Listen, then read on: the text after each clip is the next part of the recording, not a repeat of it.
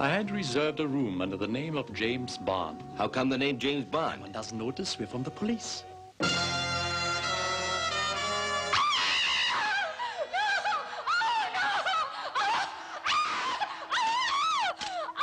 I thought you wanted to earn some money. You should think of Hollywood. We need diamonds as big as nuts.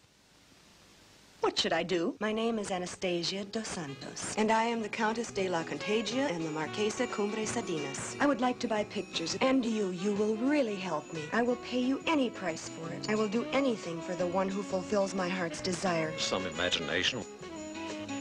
One could imagine that.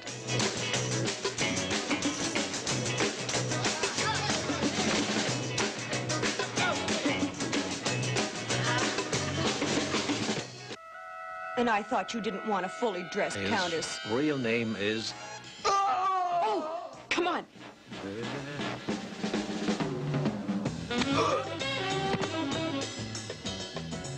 Is that it? Don't make a move. As you can see, I'm punctual. I have something for you. Inspector Tanner, Yes. Then listen to me very well. I sent to you by mail the solution to a very important case. Naturally, there's no point to it if you don't even read the mail. What did you tell the police? Truthfully, truthfully, I, I wouldn't say anything. Uh,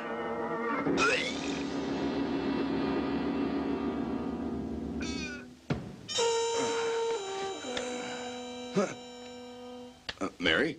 Mary?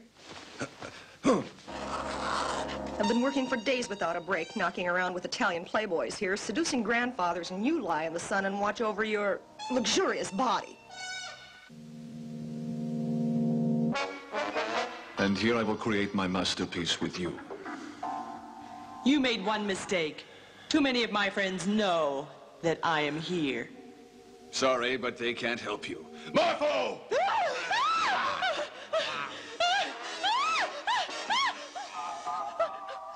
And there's something else I know, too. You have unhappily fallen in love with this girl, whom I shall now arrest.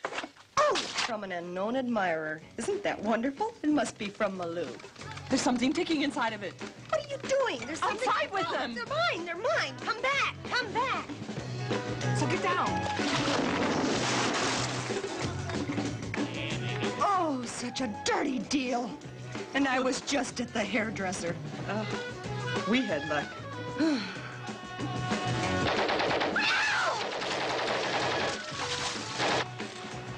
Give me your telephone number. you're a policeman. Look for me, and if you find me, you can keep me.